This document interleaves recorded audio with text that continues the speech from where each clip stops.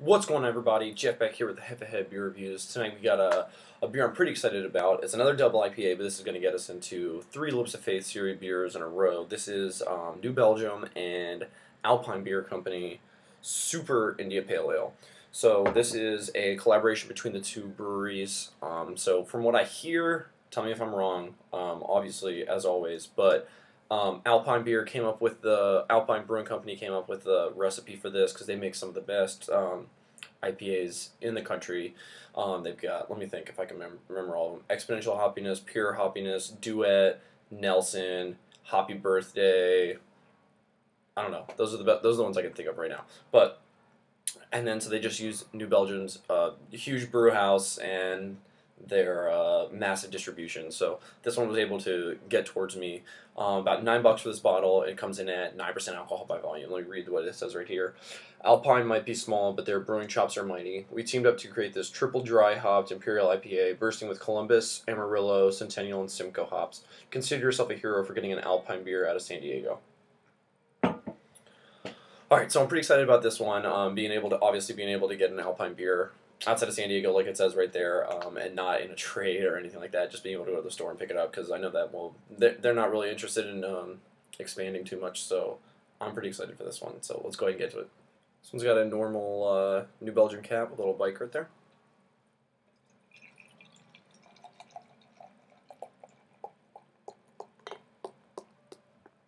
All right, great looking double IPA. A little on the lighter side, um, actually. It's got like a kind of a light orange, dark straw color, big head, um, about two fingers right now, and it's it's definitely sticking around a little bit. Um, really big bubbles towards the top, um, smaller ones towards the bottom. Um, not a lot of carbonation streaming up from the bottom, but it's definitely there. Um, looks like it's going to have good lacing, not too much on that alcohol leg front. A little bit of a chill haze, I think, right now maybe slightly hazy, um, maybe a slight slight hop haze, you know. It looks like really good beer. I can already smell it, so let's just go ahead and give it a smell. What this smells like is exactly what you should think of when you think of a, a West Coast IPA. Just massive amount of sweetness and citrus and pine, and it's just intense kind of like a sugar soaked grapefruit, um, maybe even a little bit of that Simcoe, kind of like a cat piss astringency kind of thing going on. I don't think they use Summit in this one, but I'm getting a little bit of kind of like one of the little bit of that uh, that onion garlicky thing, um, but it's super faint. That might just be uh, my nose mistaking the um, the Simcoe scent with the Summit one, but it smells really good, super effervescent, and uh, I'm really excited to give this one a try. So here we go. Cheers. You're getting a slight uh, initial bitterness that gives way to a great citra flavor, um, slight sweetness, and then of course you're getting that that that pine bitterness uh, towards the end. Um, it lingers a little bit, but it's not super off-putting. When I think of a intense piney aftertaste, I'm thinking of like uh, Sierra Nevada, Hoptimum, or their even their Bigfoot. Those ones have a massive amount lingering. This is nice. It lets you know that it's there, but it's not uh, it's not sticking around for um, for a while, and it definitely begs for you to take another sip. Super smooth flavor. Um, nine percent alcohol is completely hidden. You cannot taste that at all. It just is. It's completely smooth and, and very easily drinkable.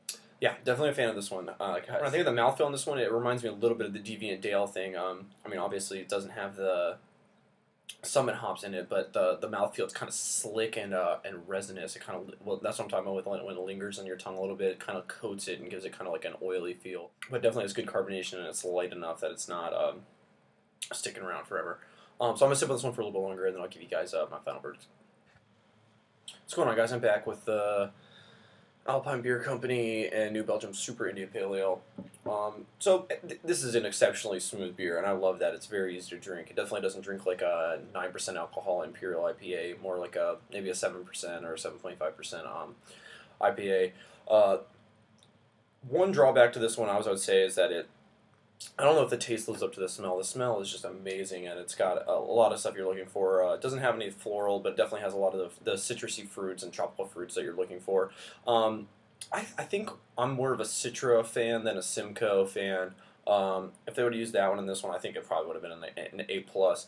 Um, but maybe I'm just not a fan of the the Simcoe kind of a astringency thing going on. Um, it still is a great beer. It's, it's super easily easy to drink and uh, and delicious. I'm gonna go with a with a with an A on this one. I'm gonna go with a 93. Um, if you can get it, definitely pick it up. Like uh, like I said, I was saying before, Alpine Beer Company is super impossible to find. Anything that uh, is on the shelf gets eaten up eventually. Uh, eh, gets eaten up right away, and that's only still only in San Diego. So this is a great look into the you know into what they have to offer um, if you're not able to get it uh, otherwise throughout a trade. Um, it's definitely worth it. Definitely pick it up and uh, and give it a try. Let me know what you guys think.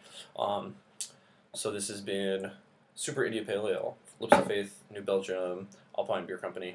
See you guys in the beer review. Cheers.